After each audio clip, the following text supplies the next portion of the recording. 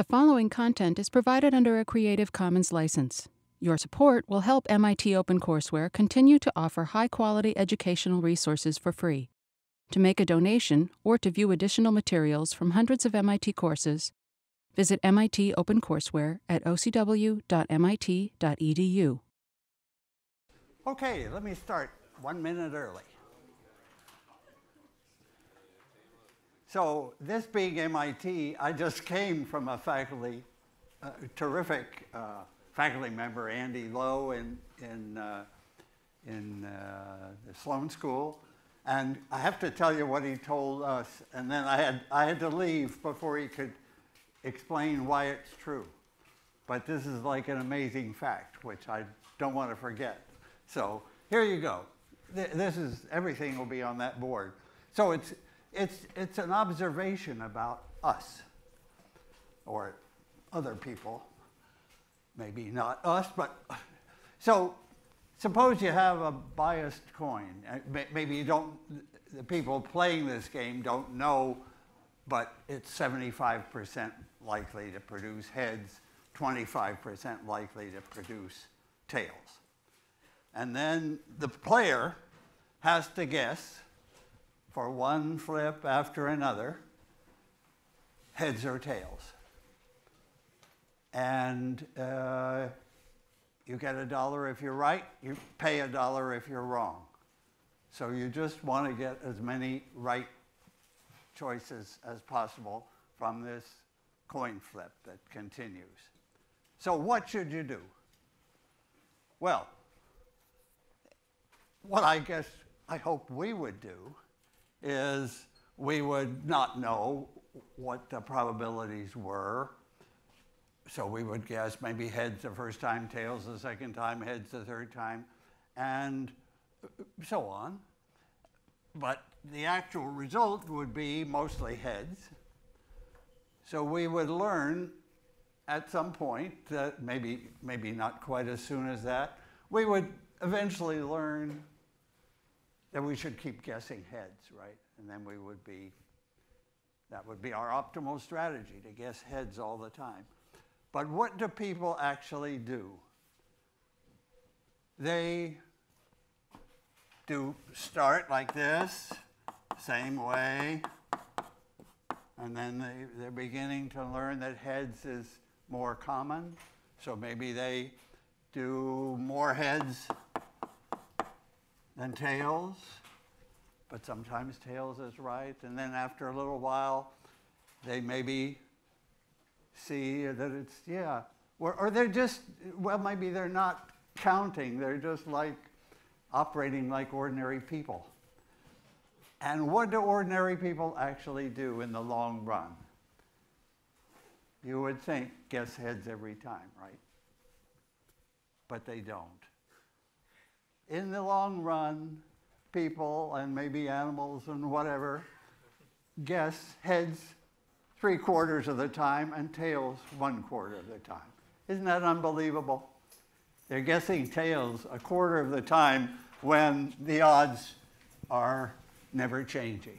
Anyway, that's, that's something that economists and, and uh, other people have to explain and if I had been able to stay another hour, I could tell you about the explanation. But anyway, that's, that's uh, I, I see I've written that on a board that I have no way to bury. So it's going to be there, and it's not the subject of 18065, but it's uh, kind of amazing, right? So there's good math problems everywhere. Okay, can I just leave you with what I know and and if I learn more, I'll come back to that question. Okay. Please turn attention this way, right? norms. A little, a few words on norms, just like that should be a word in your language. And, and so you should know what it means, and you should know there a few of the important norms. Again, a norm is a way to measure the size of a vector, or the size of a matrix, or the size of a tensor, whatever we have, or a function, very important. The norm would be a, a, a function like sine x from 0 to pi, what would be the size of that function? Well, if it was 2 sine x, the size would be twice as much. So the norm should reflect that.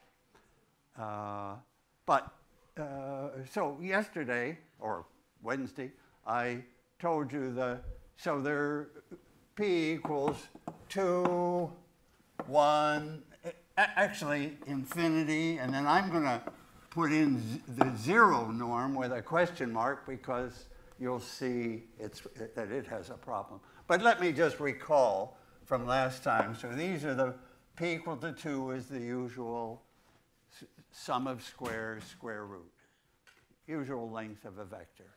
p equal 1 is this very important norm, so I would call that the L1 norm.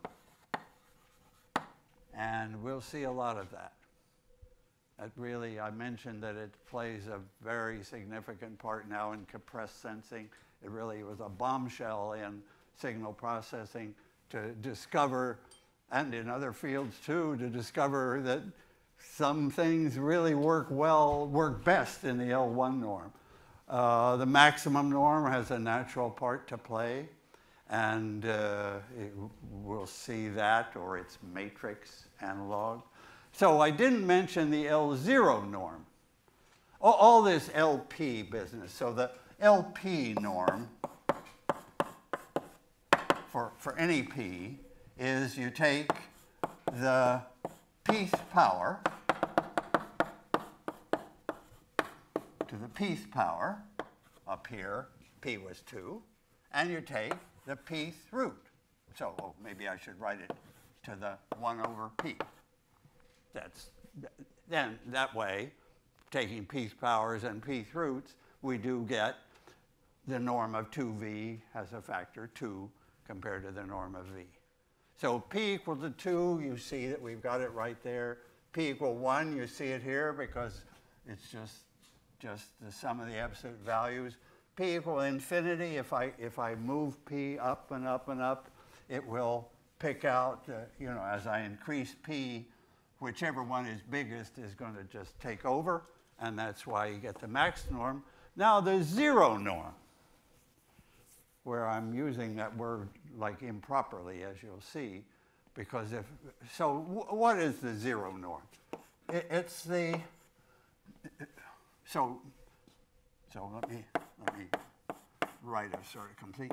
It's the number of non-zeros, of non-zero components. It's the, it's the thing that you'd like to know about in question of sparsity. Does the is there just one non-zero component? Are there 11? Are there 101? Like what, that you might want to minimize that because sparse vectors and sparse matrices are much faster to compute with. You've got good stuff. But now I claim that's not a norm, the number of zero, non-zero components. Because what's the norm of 2, how does the norm of 2v compare with the norm of v, the zero norm? It would be the same. 2v has the same number of non-zeros as v. So it violates the rule for a norm.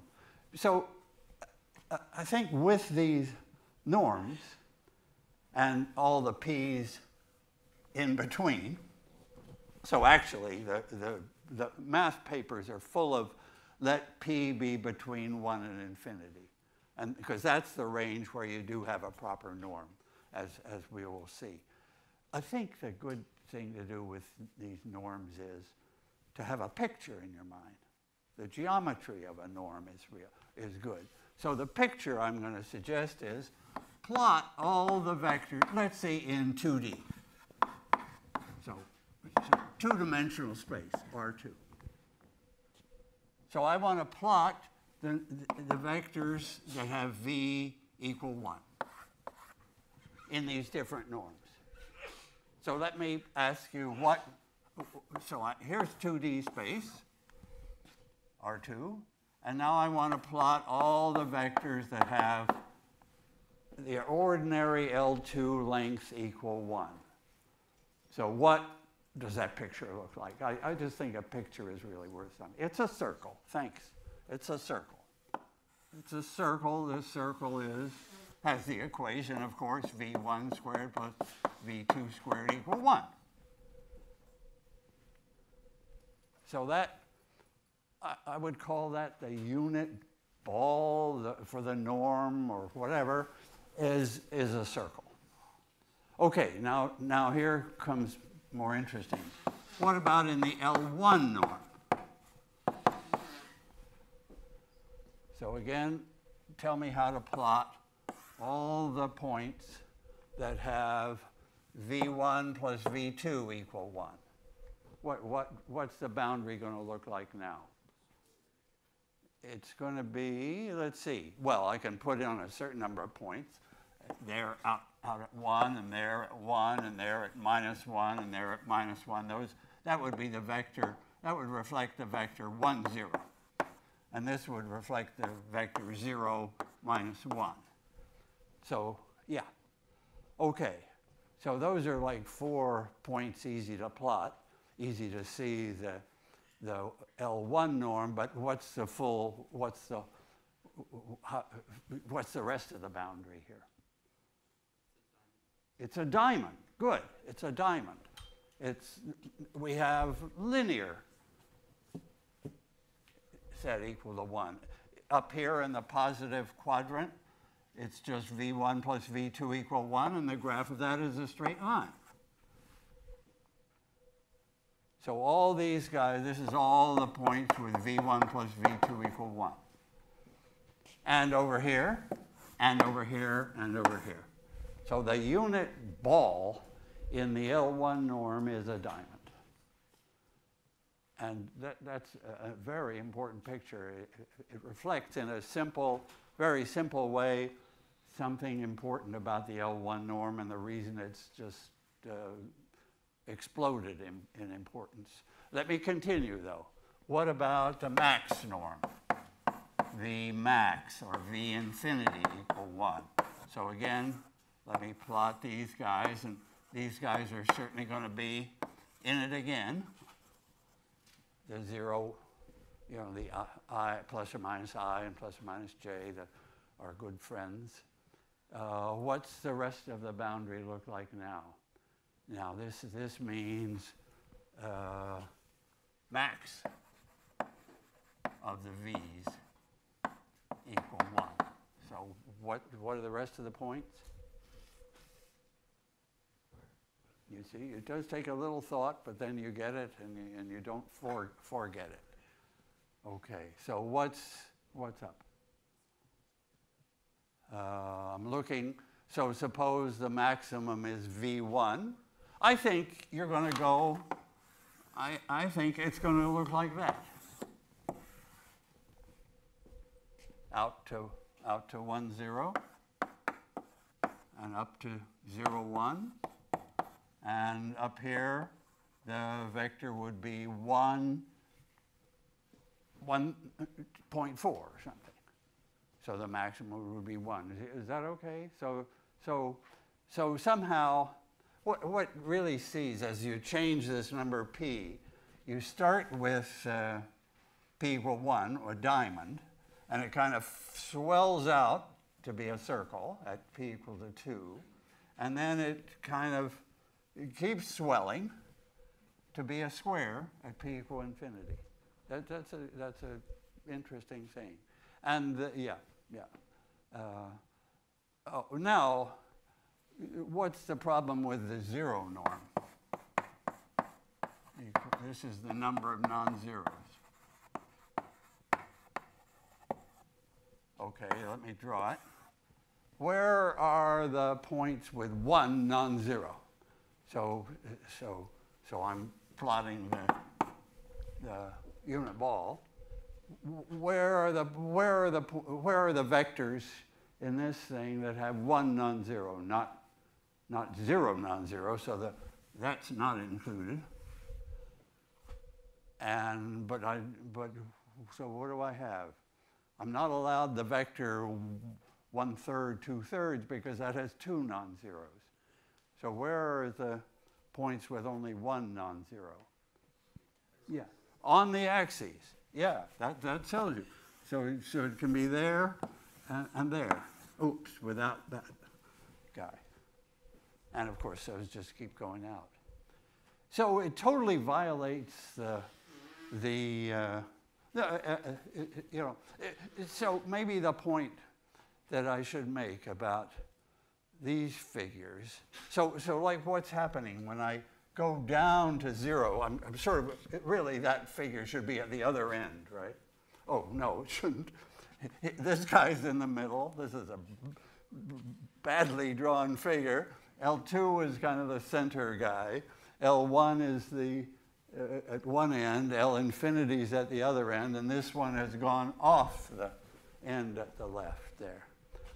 The, the, diamond has, yeah, what's happened here as, as, as that one goes down towards zero, none of these will be okay. These, these, uh, these balls will, or these sets will uh, lose weight.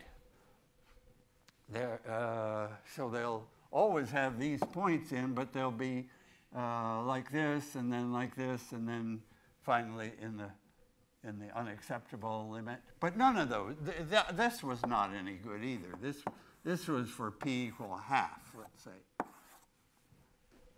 Sort of a that, that's a p equal to half, and that's not a good norm. Yeah. So maybe the thing. You, so there's a property of the circle the diamond and the square, which is, is a, a, nice math property of those, of those three sets, and is not possessed by this, as this thing loses weight, I, I lose the property. And then, of course, that's totally lost over there. Do you know what that property would be? What, what, it's what? Concave, convex, convex, I would say. Convex this is a true norm, has the convex unit ball. Maybe, maybe for ball, I'm taking all of v's less or equal 1. Yeah, so I'm, I'm allowing the insides of these shapes. So this is not a convex set. That, that set, which I should maybe, so not, not convex would be this one with uh, like so. And that reflects the fact that the, uh, oh, the, the rules for a norm are broken, the triangle inequality is probably broken, and the, the, yeah, other, other stuff. Yeah. I, I think that's sort of like worth remembering. And then uh, one more norm that's uh, natural to think about is uh, so S, as in the Piazza question, S does always represent a symmetric matrix in 18065. And now I'm going to ask my norm is going to be, so I'm going to call it the S norm. So S is a, actually it's a positive definite symmetric matrix. F is a positive definite symmetric matrix. And what will I do? I'll take V transpose AV, SV, sorry, SV. Okay, what's our word for that? The energy. That's the energy in the vector V. And I'll take the square root so that I, so that I now have the length of 2 if I double v, from v to 2v, then I get a 2 here and a 2 here, and when I take the square root, I get an overall 2, and that's what I want. I want the norm to grow linearly with the 2 or 3 or whatever I multiply by. But what is the shape of this thing? So what is the what is the shape of, let me, let me put it on this board. I, I'm going to get a picture like that. So what is the shape of V transpose S V equal 1, or less or equal 1? Uh, if S is, this is a positive symmetric, positive, definite. People use those three letters to tell us. I, I'm claiming that we get a bunch of norms. When, when do we get the L2 norm? What, uh, what matrix S would this give us the L2 norm? The identity, certainly. Now, what's going to happen if I use some different matrix S? This circle is going to change shape. I'm going to have a different norm depending on S. And a typical case would be S equal to 3, say.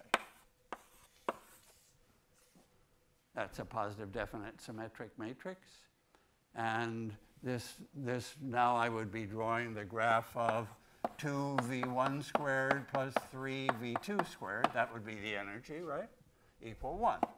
And I just want you to tell me what shape that is. So that's a perfectly good norm. It, it, you could check all its properties. They, they all come out easily. But I get a new picture, a new norm that's kind of adjustable. You could say it's a weighted norm. Weights mean that you kind of have picked some numbers sort of appropriate to the particular problem. Well, suppose those numbers are 2 and 3. What shape is the unit ball in this S norm? It's an ellipse, right. It's an ellipse. And I guess it'll actually be, so the larger number 3 will, will mean you can't go as far as, as the smaller number 2. I think it would probably be an ellipse like this. And the axes, axis length of the ellipse would probably have something to do with the 2 and the 3. Okay, so that's just, now you know really all the vector norms that are sort of natural to use. Uh, the, these come up in a natural way. They're all, as we said, the identity matrix brings us back to the 2 norm. So these are all sort of variations on the 2 norm. And these are variations as p runs from 1 up to 2 on to infinity and is not allowed to go below 1. Okay, that's norms. And then uh, maybe you can actually see from this picture. Here, here's a like somewhat hokey uh, um, idea of why it is that this norm, minimizing the, so minimizing the error in this norm. So wh what do I mean by that?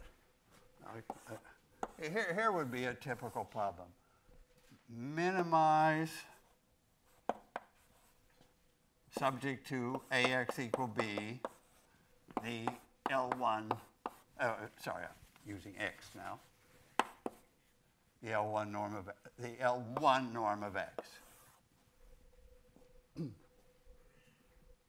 how, how, so that would be an important problem. Actually, it has a name. People have spent a lot of time thinking of a fast way to solve it. It's almost like least squares. What would, what would make it more like least squares would be change that to 2. Yeah, yeah. Can I just sort of like sketch without making a big uh, argument here the difference between L equal 1 or 2 here? Yeah, just, I'll just draw a picture. Now, I'll erase this ellipse, but you won't forget. Okay. So this, this is our problem. The L, with L1, it has a famous name, basis pursuit, well famous to people who work in optimization. For L2, it has an important name. Well, it's sort of like least squares, uh, ridge regression, all sorts of, of these, this is like a beautiful model problem. Among all solutions to AX, suppose this is just one equation, like, like uh, C1x1 plus C2x2 equals some right side B. So the x's, the constraint says that the vectors x have to be on a line. There's, suppose that's a graph of that line. So as, of, among all these x's, which one? Yeah, oh, I never, I'm realizing what, is, what I'm going to say is going to be smart. Okay, I mean, not, it's going to be nice. Uh, not going to be difficult. Let's do the one we know best, L2. So here's a picture of the line. Let me, let me make it a little more tilted so, so you, yeah, yeah, yeah, like, like 2, 3. or something. Okay, where, this is the xy plane. Here's x1, here's x2, here are, the, here are the points that satisfy my condition. Which one minimizes, which point on that line minimizes has the smallest L2 norm? Which point on the line has the smallest L2 norm? Yeah, you're, you're drawing the right figure with your hands. The smallest L2 norm, L2, remember, is just how far out you go. It's, it's circular here, so it doesn't matter what direction. They're all giving the same L2 norm, it's just how far. So we're looking for the closest point on the line because we don't want to go any further. We want to go a minimum distance with L. I'm doing L2 now. So if, uh, so where's the point at minimum distance? Yeah, it should show me again once more with hands or whatever. I, I, it'll be that I didn't want 45 degree angles there. I'm going to erase it again and really, this time I'm going to get angles that are not 45 because that obviously. All right, brilliant. Got it. Okay, that's my line. Okay, and what's the nearest point in the L2 norm? Here's the winner in L2, right? The nearest point. Everybody sees that picture? So that's the that's, you know, that's a basic uh, picture for, for minimizing something with a constraint, which is the fundamental problem of optimization, of neural nets, of everything, really, minimum of life. Uh, well, I'm getting philosophical. So, okay, that's, that's, but uh, of course, it always, the question always is, and maybe it's true in life too, which norm are you using? Okay, now, tell, so tell, that was the minimum in L2. That's the shortest distance, where distance means what we usually think of it as meaning. But now, let's go for the L1 norm. Which point on the line has the smallest L1 norm? So now I'm going to add the two. So if this is some point A this is some point A0, and this is some point 0B, right there. So those two points are obviously important. And that point we could figure out the formula for, because it's, uh, we, we know what the geometry is. But I've just put those two points in. So did I get a 0B? Yeah, that's a 0. I, so let me just ask you the question. What point on that line has the smallest L1 norm? Which has the smallest L1 norm? Somebody said it, just say it a little louder so that you're on tape forever. Uh, zero B, this point. That's the winner. This is the L1 winner. And this was the L2 winner. And notice what I said earlier, and I didn't see it coming, but now I realize this is a figure to put in the notes. Uh, the winner has the most zeros. It's the sparsest vector. It's got a zero, well, out of two components, it didn't have much freedom, but it has a zero component. It's, it's on the, on the, uh, on the axes. It's the things on the axes that have the smallest number of components. So, so uh, yeah, so, so, this is the picture in L2, in, in two, sorry, the picture in two dimensions. So I'm in 2D, and you can see that the winner is, has a zero component. Yeah, yeah.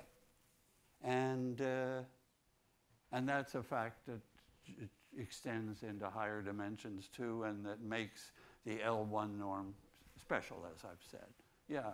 Is there more to say about that example? That's a, for a simple 2D uh, question, that really makes the point that the L1 winner is there. It's not further. You don't go further up the line, right? Because, because then you're then you have even that's bad in all ways. You're, when you go up further, you're you're adding some non-zero uh, first component, and you're increasing the non-zero second component. So you're that's a bad idea.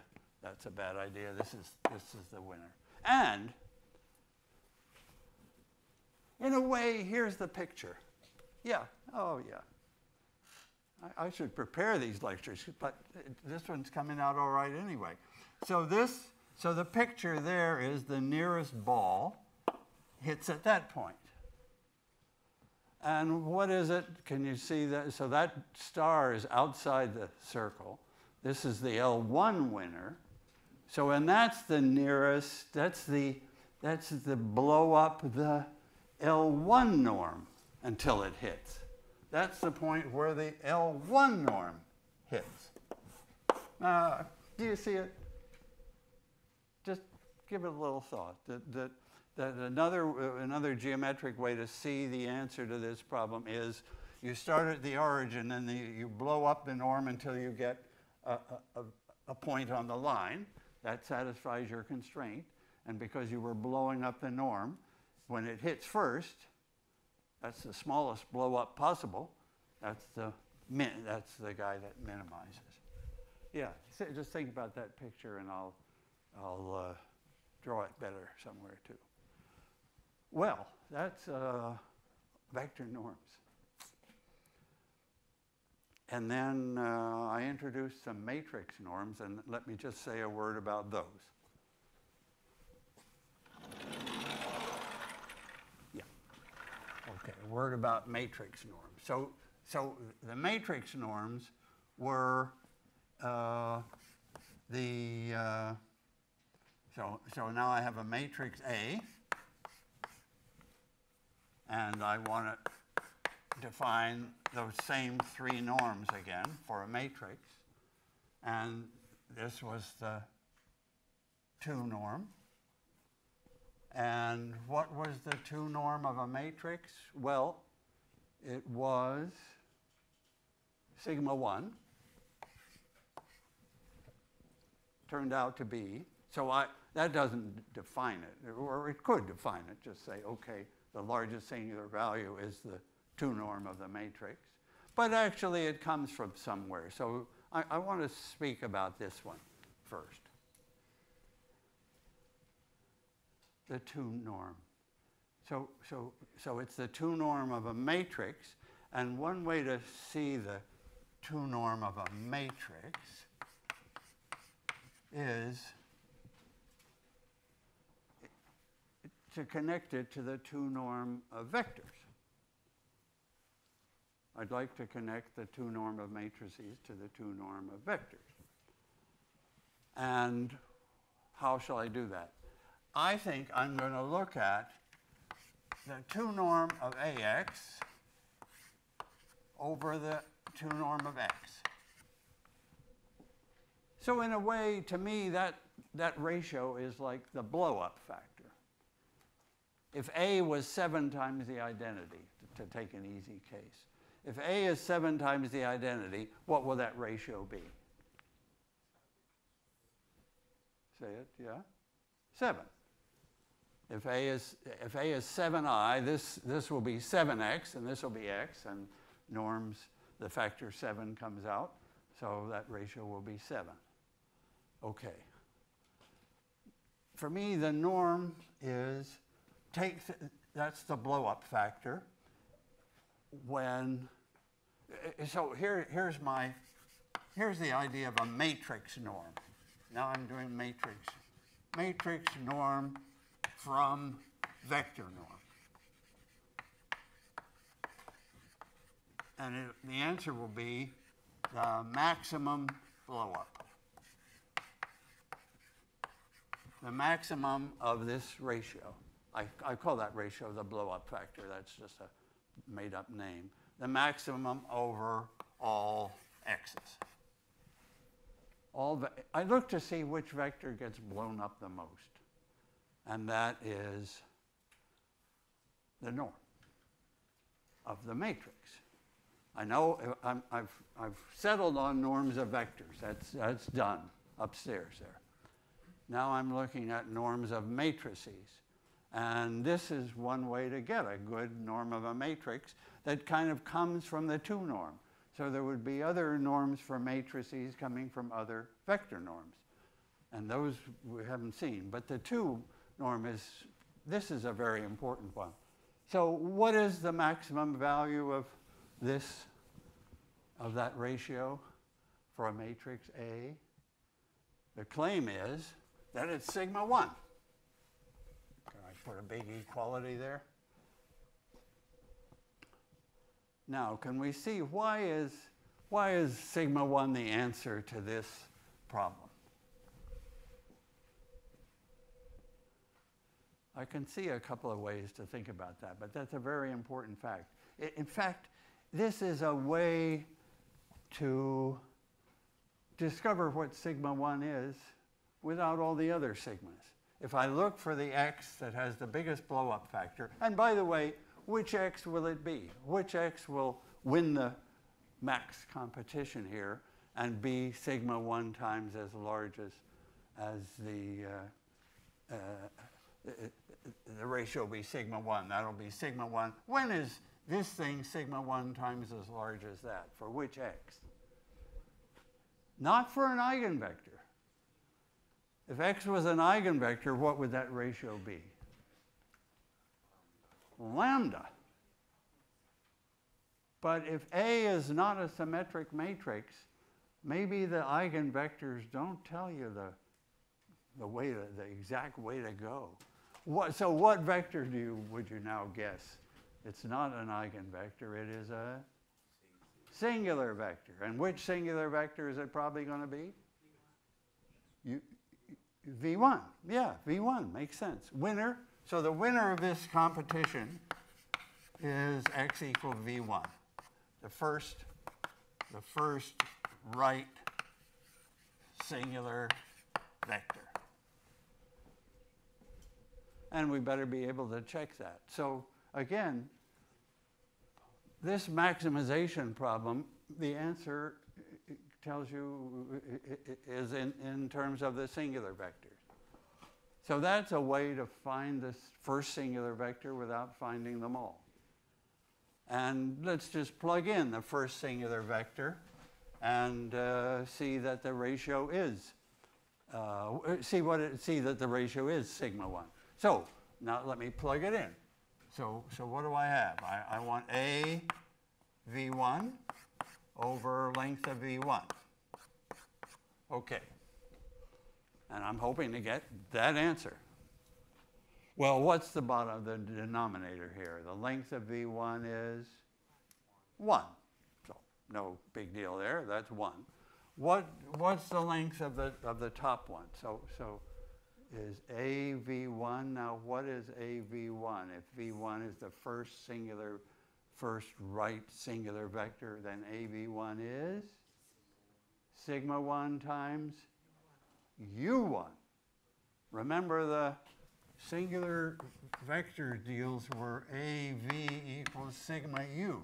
AV K equals sigma K UK. Remember that. So they're not eigenvectors. They're singular vectors. So that's, that is uh, AV1 is the length of sigma 1 U1, and it's divided by 1, and, and of course, U1 is also a unit vector, so I just get sigma 1. Okay. So that's another way to say that you can find sigma 1 by solving this maximum problem, and you get that sigma 1. Okay. And I could get other norms, matrix norms, by, by maximizing that blow up factor in that vector norm. I won't do that now, just to keep uh, control of what we've got. Now, what were the what was the next matrix norm that came in last time? Very, very important one for deep learning and neural nets. It's, somehow it's a little simpler than this guy. And what's the what was that matrix norm? What what letter whose name goes here? Frobenius. So capital F for Frobenius. And that and what was that? That was the square root of the sum of the all the add up, add all the aij squareds for all over the matrix and then take the square root.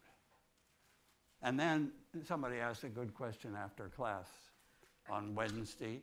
What has that got to do with the sigmas? Because I, I, I my point was that these norms are the guys that go with the sigmas, that, that have nice formulas for the sigmas. And here it is. It's the square root of the sum of the squares of all the sigmas. This is, let me write Frobenius again.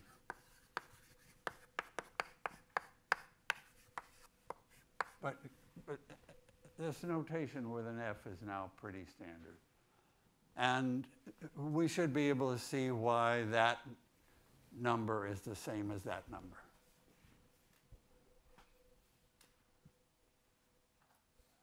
Um, yeah, I could. I could give you a reason, or I could put it on the problem set. Yeah, I think it's uh, better on the problem set because, uh, uh, it, first of all, I'll get off the hook right away. And secondly, this connection between, uh, in, in Frobenius, that's like a beautiful fact about Frobenius norm that you add up all the sigma squareds, this is m times n of them because it's a all filled matrix, or you add up, so another way to say it is, uh, uh we haven't written down the SVD today. A equal U sigma V transpose. And the point is that for the Frobenius norm, actually for all these norms, I can change U, it, it doesn't change the norm, so I can make U the identity. It's, U is, we all know, is an orthogonal matrix, and what I'm saying is orthogonal matrix U doesn't change any of these particular norms. So suppose it was the identity, same here. That could be the identity without changing the norm. So we're down to the norm of the, the Frobenius. So what's the Frobenius norm of, the, of that guy? What's the Frobenius norm of that diagonal matrix? Well, you're supposed to add up the squares of all the numbers in the matrix, and what do you get?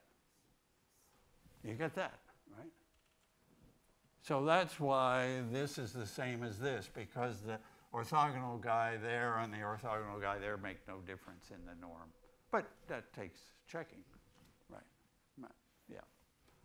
But that's another way to see why the Frobenius norm gives this. And then finally, this was the nuclear norm. And actually, just before the, my lunch lecture on the subject of probability, I've had a learning morning uh, the lunch lecture was about this crazy way that humans behave, not us, but uh, uh, other humans, uh, other actual, well, no, I don't want to say that. Take that out of the tape. Uh, yeah, okay. Anyway, that was that lecture. Well, before that was a lecture for an hour plus about deep learning by somebody who really, really has under, begun to understand what is happening inside. How does that gradient descent optimization algorithm pick out? What, what does it pick out as the, as, as the thing it learns? This, this is going to be the, you know, our goal in, the, in this course. We're not there yet. But the, his conjecture is that, that, yeah, so it's a conjecture. He doesn't have a proof. He's got proofs of some nice cases where things commute, but he hasn't got the whole thing yet. But it's pretty terrific work. So this, this was Professor Srebro, who's at, at in, in Chicago. So he just announced his conjecture. And his conjecture is that in, in a model case, the deep learning that we'll learn about with the gradient descent that we'll learn about to find the best weights, that the point is that there are, in a typical deep learning problem these days, there are many more weights than samples. And so there are a lot of possible minima. Many different weights give the same minimum loss because there's so many weights. It's, the problem is like uh, too many variables. But it turns out to be a very, very good thing. That's part of the success. And the, he believes that, uh, that the, uh, in a model situation, that the, that, that optimization by gradient descent picks out the, the weights that minimize the nuclear norm. So this would be a norm of a lot of weights. And uh, he thinks that's where the system goes. We'll see this. This was, comes up in compressed sensing, as I mentioned last time. So this, but now I, I have to remember what was, what was the definition. What, what, do you remember what the nuclear norm was? It's also, his, he often used, he used a little star instead of an N. I'll put that in the notes. Other people call it the trace norm. That's, but I think this N kind of gives it a, a, a name or notation you can remember. So let's call it the nuclear norm. Do you remember what that one was? It was, yeah, somebody's saying it right. The Add the sigmas, yeah, just the sum of the sigmas. Like the L1 norm. Yeah, in a way that's, so that's the idea is that this is the natural sort of L1 type of norm for matrices. It's the L1 norm, yeah, of, of that sigma vector. This would be the L2 norm of the sigma vector. That would be the L infinity norm. Notice that the vector numbers, infinity, 2, and 1, get changed around to uh, when, you, when you look at the matrix guy. Well, so that's an exciting idea and it remains to be proved. Uh, and people are experimenting to see does is it is it true? Yeah. So that's a, a big thing for the future. Yes. Okay. So that's today we've talked about norms, and this the section of the notes will be all about norms. Um, we've taken a big leap into a comment about deep learning, and uh, this is what I want to say the most. And I say it to every class I teach at the, near the start of the semester. Uh, my, my feeling about what my job is is to teach you things or to join, you, join with you in learning things as, as happened today. It's not to grade you. I don't spend any time uh, like like losing sleep, you know, should, should that person take a one point or epsilon penalty for, for uh, turning it in four minutes late? Uh, hell with that, right? We've got a lot to do here. And uh, so, anyway, we'll get on with the job. So, homework three coming up, and uh, we, it'll be using the notes that you already have posted in Stellar for for those sections, eight and nine and so on. And we'll keep going on Monday. Okay, see you Monday and have a great weekend.